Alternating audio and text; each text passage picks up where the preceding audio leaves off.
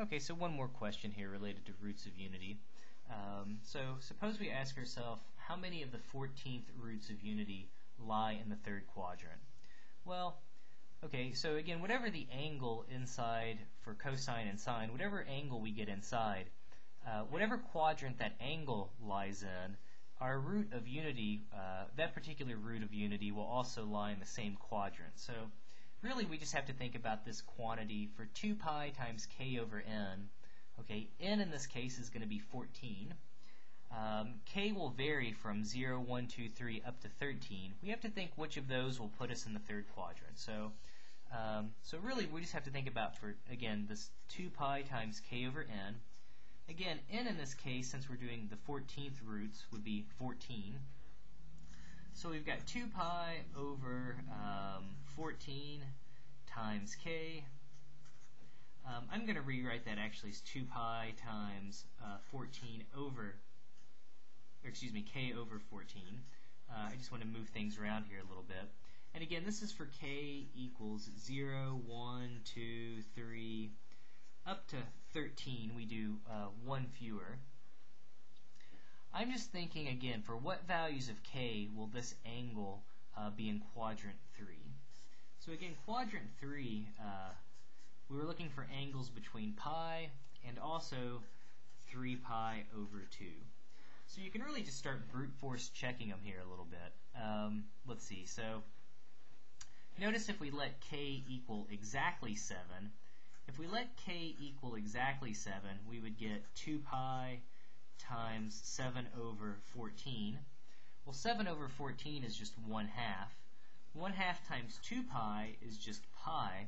So the seventh root of unity uh, would be lying over here on the negative x-axis, but it wouldn't quite be in quadrant 3 yet. So that one doesn't work. Well, let's see. Uh, k equals 8.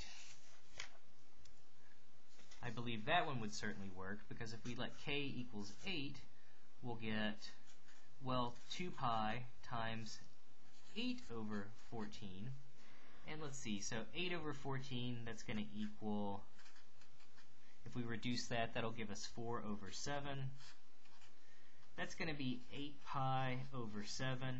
And 8 pi over 7 is going to be just a little bit bigger than pi, so that's certainly going to fall uh, in quadrant in quadrant 3. And now I'm just going to kind of keep this up. I'm just going to keep sort of brute force checking them here until uh, I think we, we get outside of our, until we get an angle larger than 3 pi over 2. So let's see here, we checked k equals 8, let's do k equals 9.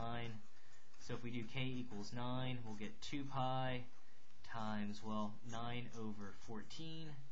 If we simplify that, again, 2 over 14, um, that's going to give us just 1 seventh.